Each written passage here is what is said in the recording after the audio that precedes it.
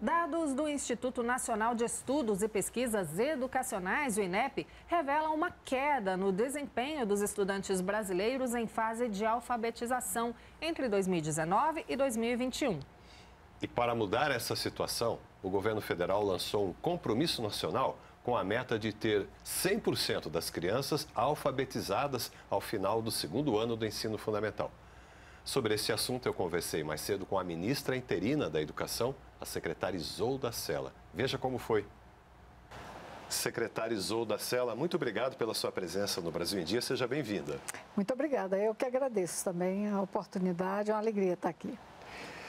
Secretário, o Compromisso Nacional Criança Alfabetizada tem como meta 100% das crianças alfabetizadas até o final do segundo ano do ensino fundamental, né? Trazendo um pouco aí do, do contexto, o que levou o MEC a propor esse programa, secretário? Bom, a primeira coisa é a, é a realidade brasileira, né, que ainda precisa enfrentar com muita com muito foco, com muita seriedade, com muito sentido de responsabilidade essa, esse problema, que é o fracasso da alfabetização inicial. Então, tem evidências disso. Né? Nós temos resultados de avaliações e que nos mostram que em torno de 60% das crianças, bem perto disso, é, não conseguiram ter adquirir as competências necessárias para é, começar a ler com, com proficiência adequada à idade delas. Então, é, o que, que acontece com isso? Um risco para a escolaridade das crianças. Grande parte das mazelas que nós vemos ainda em sistemas educacionais, por exemplo, distorção idade série, abandono, repetência, evasão, é, baixos níveis de aprendizagem nas etapas, ao final das etapas da educação básica. Muito disso tem a ver com um, o fracasso inicial da alfabetização. A então raiz, a gente precisa né, de todos é, os problemas. É exatamente. É então a gente precisa garantir que as crianças se alfabetizem na idade certa, para que ela possa ter chance de seguir com, é, com, com, com, sucesso, com perspectiva de sucesso a sua escolaridade. Porque quando a gente observa as avaliações de quinto ano, de nono ano e do terceiro ano do ensino médio, nós vemos que as, a, o nível, a média de aprendizagem dos estudantes ainda está distante de onde ela deveria estar e diante do esperado.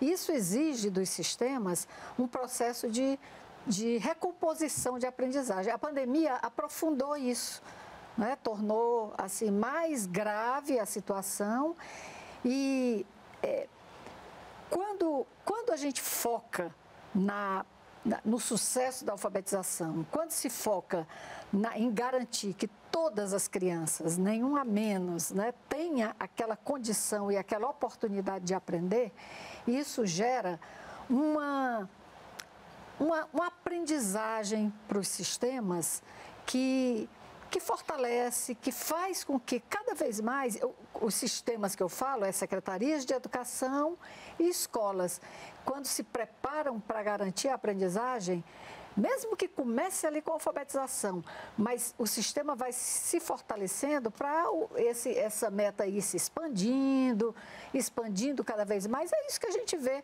na, na, na trajetória de algumas boas experiências brasileiras, inclusive. É verdade, um, num país tão grande, né, a educação é levada aí em parceria pela União, estados e municípios, o papel eh, direcionador e, e, e, apoiador do MEC é fundamental, né? Fundamental. E, e eu acho que você toca numa coisa muito importante, que é exatamente o compromisso desse governo e do Ministério da Educação de restauração das relações federativas. É, nós precisamos estar muito, muito próximos, muito articulados e, e num, num regime de cooperação permanente com estados e municípios, que são os responsáveis pela matrícula da educação básica pública, né? a sua grande maioria. Então, essa fortalecer essa, essa cooperação é uma, é uma estratégia imprescindível para que nós tenhamos mais chance de sucesso. E o governo federal, o Ministério da Educação, fazendo a parte que lhe cabe, né? cooperando com assistência técnica, com a, cooperando financeiramente, fazendo a normatização de algumas, lançando é, diretrizes nacionais, né? como essa da, da, do compromisso nacional certo. e assim eu acho que a gente tem e, sucesso. E da parte dos municípios, dos estados, a adesão, por exemplo, a esse programa era voluntária e, no entanto, foi uma adesão eh, praticamente total, né? Foi. Pelo que a gente viu. Foi. É, mas isso requer também da parte dos gestores eh, estaduais e municipais compromissos, responsabilidades, não é? Ah, sim. Compromisso é um circuito de que precisa é, se, se pôr em movimento para que nós tenhamos ali as nossas, as nossas metas alcançadas. Isso vai desde a liderança política maior, e aí eu falo de governadores, de prefeitas, prefeitos, é, o engajamento é, dessa, dessa instância de decisão política, isso é, isso é muito importante, não é chavão, isso é realidade.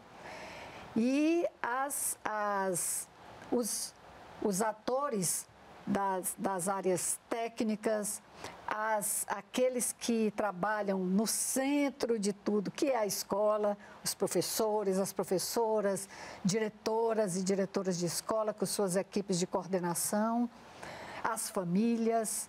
Quando a escola começa a mostrar para as famílias que a, a, o que está acontecendo ali com com a criança, com o filho deles, é importante, que eles estão prestando atenção nisso, que eles estão com expectativas altas de que ele consiga é, ter sucesso ou ela. As famílias reagem a isso de forma muito positiva, sabe? As famílias percebem quando a, o cuidado aumenta, quando a atenção aumenta. E, e nós temos parceiros também, fora ali do campo imediato da educação, nós temos muita, muita gente engajada e, e, enxergando a necessidade do país responder positivamente a isso. E eu falo aqui de tribunais de contas, Ministério Público, é, o terceiro setor, é, as, as, as, os organismos internacionais, que são parceiros também muito importantes, as as federações, associações de classe, que estão aí também com proposições interessantes é, de chegar junto, fazendo premiação, fazendo reconhecimento de experiências municipais que são importantes. Tudo isso, é, tudo isso vai criar um clima, um ambiente que precisa é ser aquecido né? nesse tem, sentido da gente alcançar essas metas, garantir que todas as crianças se alfabetizem e olhando para aquelas que mais precisam e que, de forma é, assim, muito evidente, tem, ao longo do tempo, é, tem, eu acho que talvez pago assim, a, a, fatura mais alta disso tudo, é que são as crianças mais pobres, as crianças negras, as crianças indígenas, quilombolas, né, de grupos que as, as crianças que têm é, deficiência, né? pessoas com, com, deficiência. Então, é preciso olhar também para isso. Com certeza. Porque a gente não, a gente não vai perseguir uma média é, que, que esconda iniquidade, não. Como a senhora disse no começo aqui, ninguém de fora, né? Foi algo nesse sentido, né? É. A educação é para todos, né? É, é, Temos certeza. que dar oportunidades para é. todos. Secretária Isolda Sela, secretária executiva do MEC, muito obrigado por essa conversa a respeito de um tema tão caro para todos nós que é a educação. Muito obrigada.